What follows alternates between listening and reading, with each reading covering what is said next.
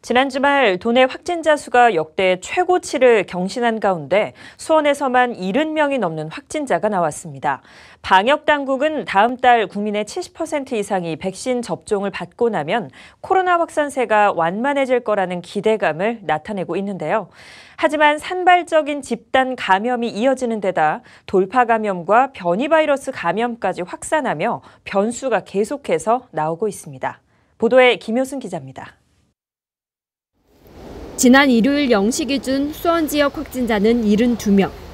주말임에도 역대 최고 기록을 갈아치웠습니다. 6월 한 달 동안 370명 발생했던 수원 확진자 수가 지난달에는 842명으로 두 배 넘게 증가했습니다. 또한 이달 들어서는 노래 연습장부터 쇼핑몰, 외국인 거주지까지 집단 감염고리가 이어지면서 확진자가 빠르게 느는 모양새입니다. 전파력이 강력한 변이 바이러스도 걱정입니다.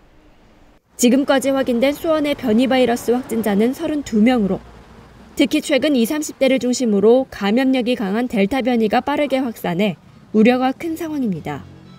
돌파 감염과 재감염 사례도 계속해서 나오고 있습니다. 수원에서는 1차 접종을 마친 시민 가운데 75명, 2차까지 완전 접종을 마친 시민 중에서도 27명이 감염됐습니다. 코로나19 완치 후에 다시 감염된 사례도 두 건이 나왔습니다.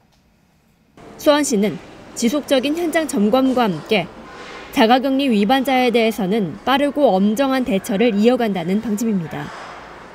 시 방역당국은 확산세가 잦아들 때까지 외출을 최대한 자제하고 올여름 휴가는 가급적 집에서 보내달라고 당부했습니다. BTV 뉴스 김효수입니다.